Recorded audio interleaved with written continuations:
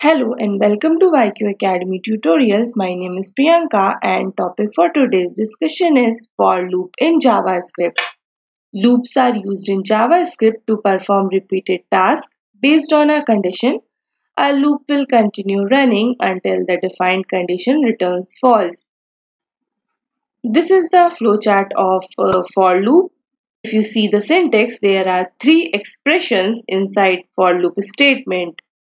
The first one is initialization. Then we have condition. And lastly, we have update statement in the syntax of for loop. In initialization, we declare a variable and initialize its value with the help of assignment operator. Then in condition, expression is checked each time before the loop runs. If it evaluates to true, then the body of for loop is executed and if it evaluates to false then the loop stops. And then we have update statement which helps in altering the value for further execution. Now let's see an example for for loop. I'm using visual studio code for running the program. I created a folder namely javascript and using this icon I created a file and I named this file as forloop.js. Now let's write a program for uh, for loop. Here I am declaring a variable using let keyword and the variable name I am taking as i and I am assigning a value to it uh, let's say 0. Now let's write the condition part. So I'm giving i is less than uh, let's say 4.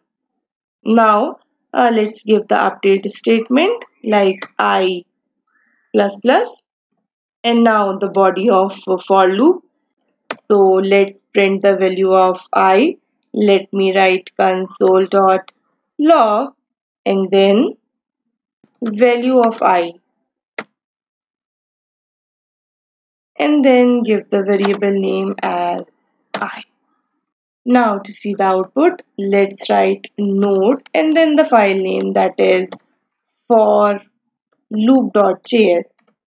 On clicking the enter button, we can see the output as the value of i is 0, 1, 2 and 3. Now let's take uh, another example to display some of uh, numbers using for loop. So first let me create all these uh, statements as comment. Now let me declare a variable using let keyword. I am taking variable name as sum and I'm assigning value 0 to it. Now let me write the syntax of for loop like let i equals to 1 and then the condition part let's take i is less than equal to 10 and then the update statement.